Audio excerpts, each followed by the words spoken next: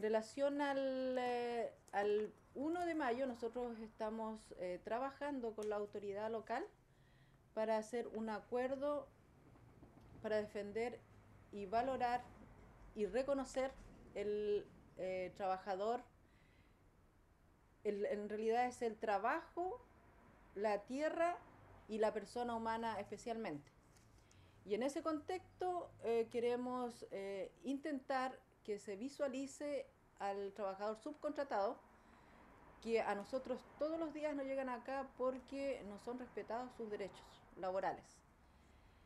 Eh, además, el 24 tenemos una actividad en la mañana donde estará la OIT, que también está firmando un acuerdo con el, el- el GORE eh, en relación a, a trabajo decente y nosotros en ese mismo 24 queremos conocer qué implica para los trabajadores acá ese acuerdo. Eh, y también vamos a trabajar en relación a reformas laborales eh, y cómo vamos. Y para ello está invitado un, eh, un dirigente de la CUN Nacional y profesionales de acá que nos gustaría que estuviese don Felipe Pinto. Em, entonces yo ahora dejo a don Carlos Mancilla en relación a las reformas laborales, cómo vamos. Bien, eh, buenos días. Tal cual como lo dice la presidenta, ha convocado una conferencia de prensa preparando la actividad que es la conmemoración del primero de mayo. Primero de mayo que no se ve muy, muy tranquilo para Chile y para los trabajadores y trabajadoras, puesto que la esperanza que tenían los trabajadores en una reforma estructural laboral no es tal que finalmente se ha diluido solamente en opacar la actividad sindical, opacar las posibilidades de negociación colectiva, como asimismo también flexibilizar más lo que aún tenemos, que es el Código del Trabajo, que flexibilice en todos sus ámbitos el trabajo. En esa línea hemos definido entre todos los trabajadores y trabajadoras de la región de los ríos que no estamos de acuerdo en la forma que está planteada la reforma laboral, puesto que eh, cuando habla de, la, de las posibilidades de flexibilizar, eh, indica que se pueden hacer pactos que determinan jornadas distintas a las determinadas por el Código del Trabajo, como por ejemplo trabajar más de las 10 horas de trabajo que autoriza ocasionalmente el Código, como también las condiciones laborales que las cambia eh, en una negociación colectiva por, a través de los pactos, cosa que nos haría muy mal a los trabajadores. Todos sabemos que necesitamos dinero y al tener pactos de esa naturaleza va a permitir que trabajadores sean los superhombres y no tengamos la posibilidad de mayor posibilidad de empleo. Por otro lado, cuando criminaliza la reforma laboral la actividad del dirigente sindical, al momento de cuestionar la forma, la buena fe que puede tener en la mesa negociadora, esa buena fe se puede cuestionar de varias maneras, como es por ejemplo inclusive pagando eh, gente que determine que hay una mala fe de parte del dirigente sindical.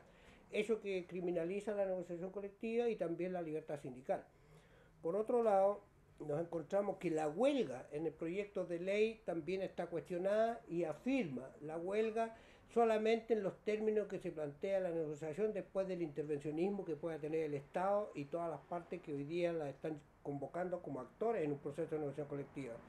Y estos actores son la Dirección Nacional del Trabajo o Regional del Trabajo, la Dirección del Trabajo en general, como también el empleador y los trabajadores. Es decir, nos quitan la pertinencia y la pertenencia en cuanto a cuáles son los actores que deben estar en la mesa negociadora.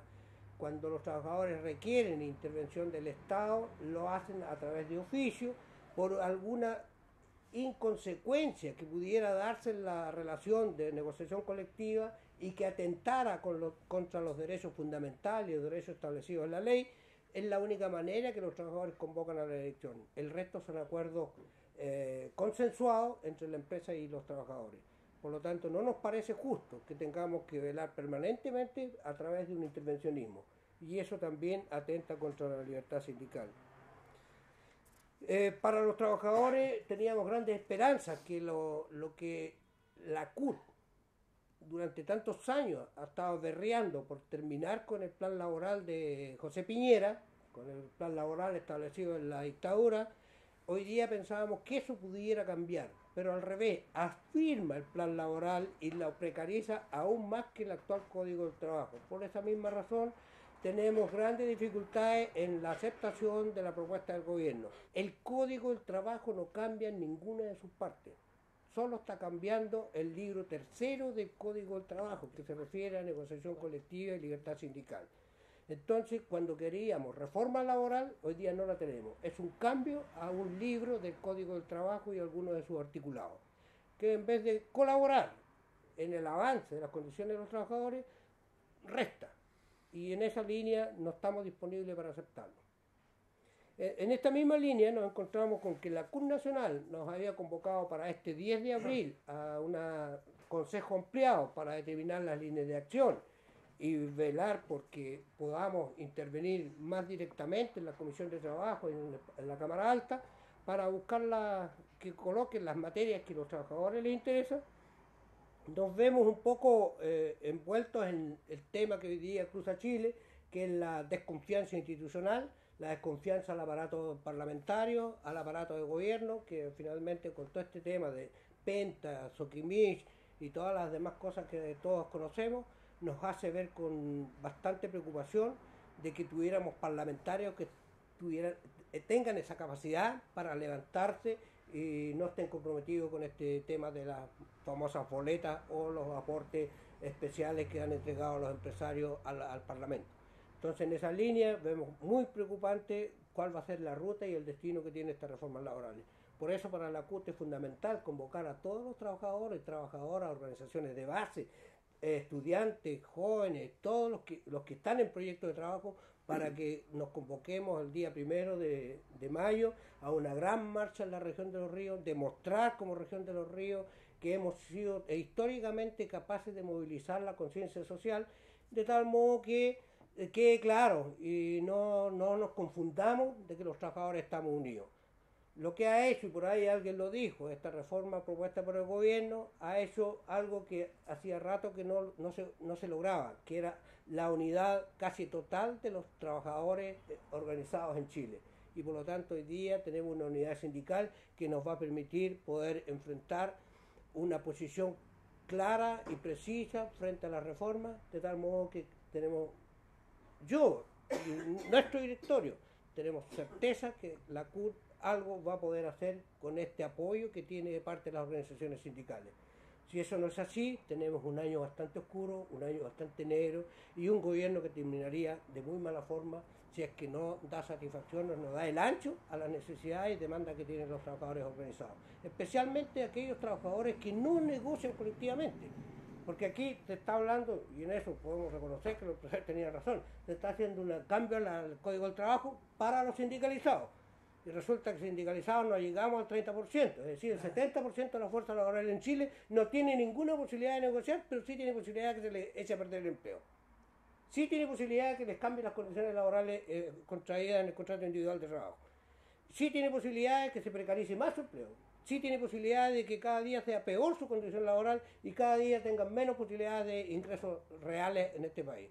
En Chile, el ingreso de los trabajadores es inferior a 300 mil pesos de la mayoría de los trabajadores. Estamos hablando de casi el 60% de los trabajadores que ganan menos de 300 mil pesos. Y todos sabemos que eso no implica tener una familia de tres personas.